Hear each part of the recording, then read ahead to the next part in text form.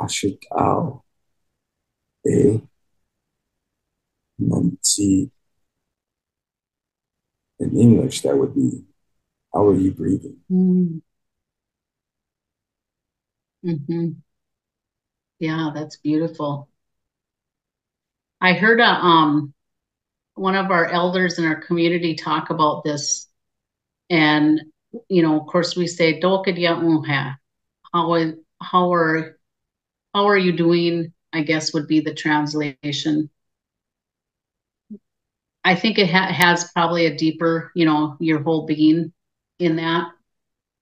But she said that people have like um, treated it like how you described, just real, just kind of just casual, and feels, oh, fine, fine.